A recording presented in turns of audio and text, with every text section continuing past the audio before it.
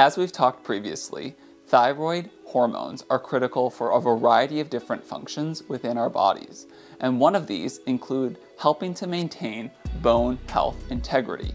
So if we look back at how thyroid hormones are produced, we turn first to the pituitary gland, which releases TSH, or thyroid stimulating hormone. This helps to trigger the thyroid gland to re release T4 and T3. However, TSH is also really critical for helping to maintain bone remodeling integrity.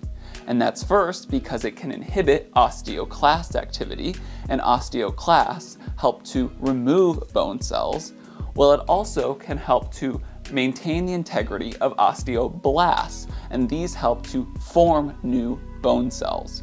So if we look at a variety of different studies related to bone remodeling and TSH levels, what these studies have shown is that if one is receiving excess T4 therapy for a type of thyroid condition, this actually leads to an increase in the amount of fractures.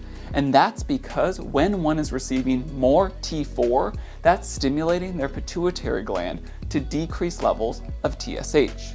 This means that more osteoclasts are being active, meaning that more bone cells are being removed, leading to those increased number of fractures.